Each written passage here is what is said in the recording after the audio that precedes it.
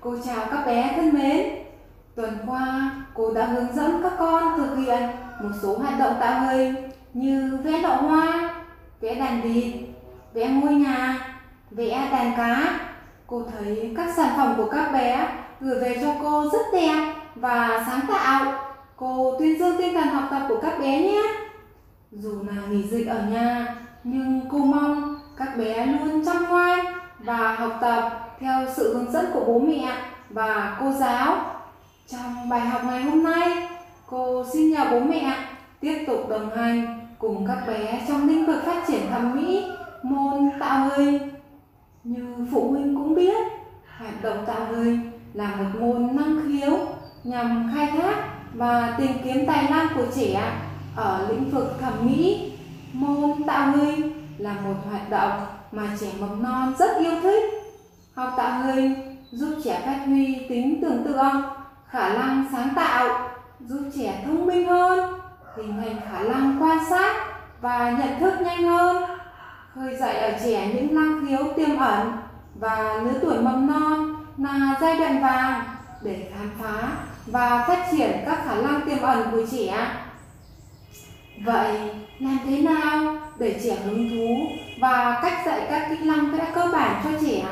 Cô xin chia sẻ với các bố mẹ một số kinh nghiệm sau. Bố mẹ cần hướng trẻ đến nội dung mà trẻ thực hiện. Ví dụ như vẽ vườn hoa, bố mẹ hãy tạo cho con hứng thú, khám phá, có thể là cho các con nghe bài hát Hoa trường em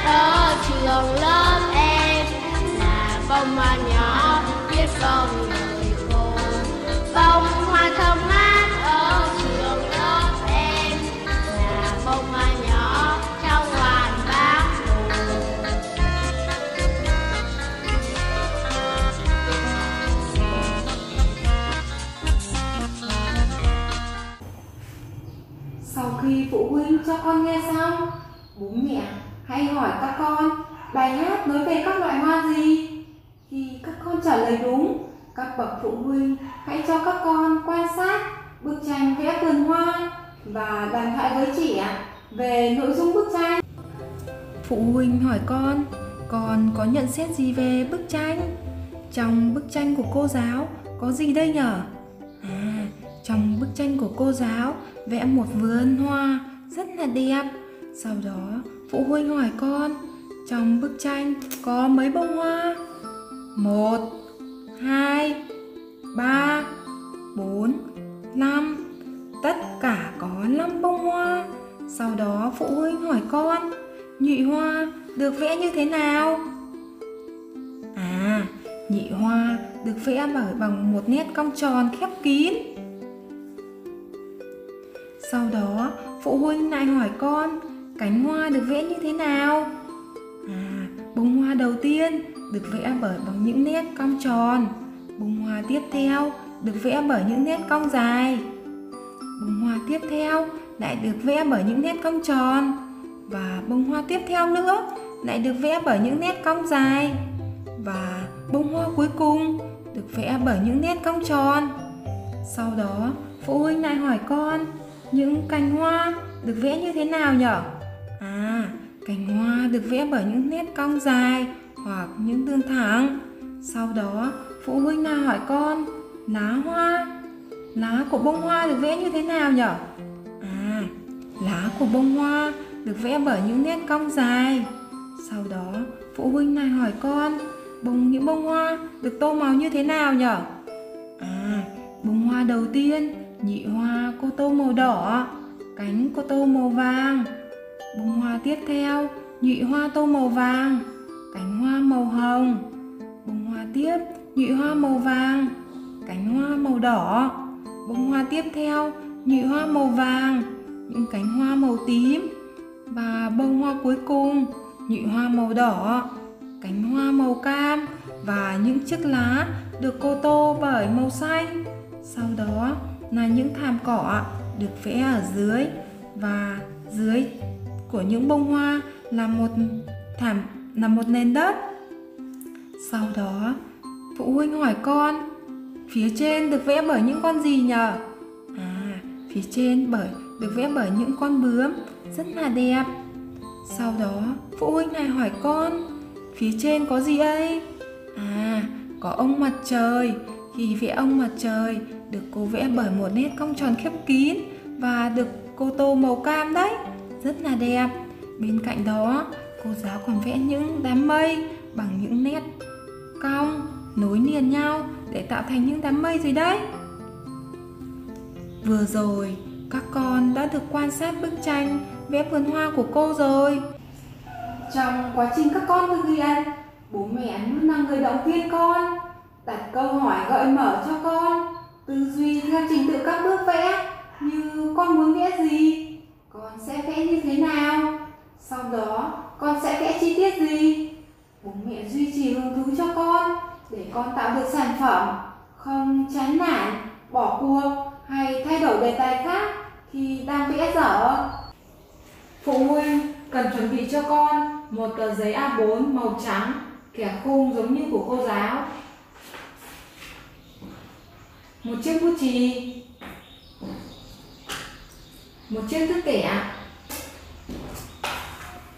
Và một hộp sáp màu. Đầu tiên cô vẽ một nét cong dài để làm nền đất. Phía trên cô vẽ một bông hoa với nhị hoa là một nét cong tròn. Tiếp theo cô vẽ những cánh hoa hình tròn xếp liền nhau. Phía dưới là cành hoa, còn lá hoa cô sẽ vẽ là nét cong dài. Bên cạnh cô vẽ một bông hoa với cánh hoa là nét cong dài. Những cánh hoa cũng được xếp cạnh nhau đấy các con ạ. À. Sau đó cô cũng vẽ cành hoa, một lá, hai lá dành cho bông hoa thứ hai. Trong vườn hoa có rất nhiều những bông hoa khác nhau. Bông hoa này được cô vẽ cánh hoa là những nét cong tròn nhỏ. Sau đó vẽ cành hoa và lá. Chúng mình cùng quan sát cô vẽ những bông hoa cánh dài ở phía bên này nhé. Cô sẽ vẽ thêm một bông hoa cánh tròn nhỏ nhỏ xinh xinh nữa nhé. Vì vườn hoa rất nhiều màu sắc, hương thơm ngào ngạt, cô vẽ thêm những chú bướm, chú ong để vườn hoa thêm sinh động. Bên trên là ông mặt trời để tỏa những tia nắng ấm áp cho vườn hoa đấy. Tiếp là những đám mây nhỏ xinh bay nơ nửng trên bầu trời. Như vậy cô đã vẽ xong rồi. Đầu tiên cô lấy màu nâu làm nền đất. Chúng mình nhớ tô đều tay và không trầm ra ngoài nhé. Cô tô xong nền đất rồi, chúng ta lấy màu vàng tô làm nhụy hoa, sau đó chọn màu đỏ tô cho cánh hoa. Các con nhớ tô đều tay và không thể trầm ra ngoài nhé. Tiếp theo là cánh hoa có màu gì nhỉ? Cánh hoa là màu xanh đấy. Bông hoa rất đẹp đấy phải không các con? Bông hoa thứ hai được cô tô nhụy hoa là màu vàng, cánh hoa là màu tím. Các con hãy nhớ có rất nhiều bông hoa nên chúng mình chọn những màu sắc khác nhau để tô cho thêm sinh động nhé.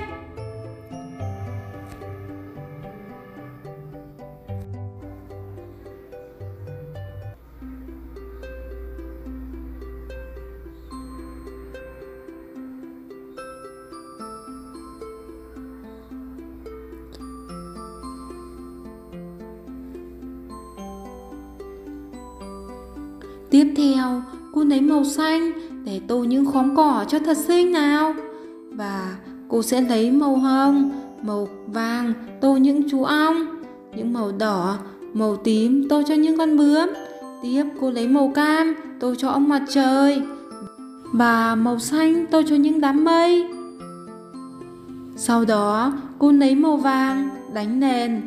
Khi đánh nền, các con đánh nhẹ tay và cũng không thể trơm ra ngoài nhé.